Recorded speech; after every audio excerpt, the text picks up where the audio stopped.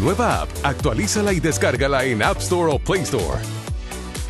TVC va con vos.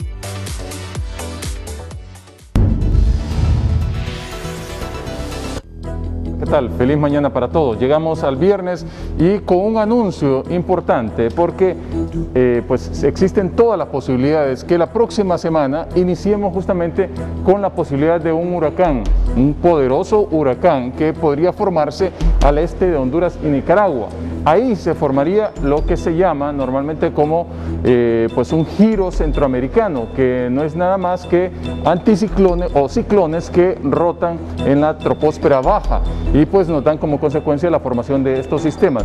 Miren ustedes cómo la temporada del Atlántico ha ido rompiendo muchos récords, solo es comparable con la del 2005, sin embargo todavía tenemos más de un mes por enfrente con eh, la temporada del 2020 y esto quiere decir que se pueden formar muchos fenómenos todavía. Entonces, este es justamente el punto donde se daría ese giro ciclónico que puede ser entre martes y miércoles de esta próxima semana y de aquí, desde aquí nacería un poderoso huracán que, eh, pues, si no nos afecta directa, sería indirectamente, que es lo más posible. Sin embargo, cada vez que hay un fenómeno cerca, entonces tenemos abundantes lluvias y precipitaciones. Esto se debe a que las temperaturas cercanas a Centroamérica están realmente altas y de eso está advirtiendo el Centro de Huracanes y otros servicios meteorológicos.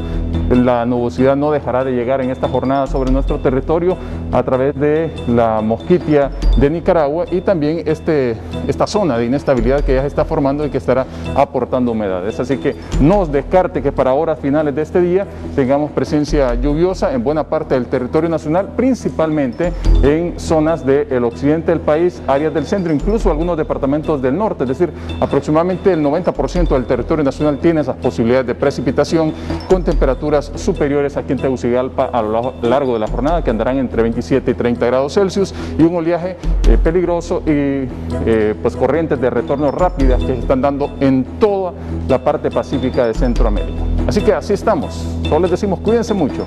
Siempre les queremos como televidentes y no como noticia. Que la pasen bien.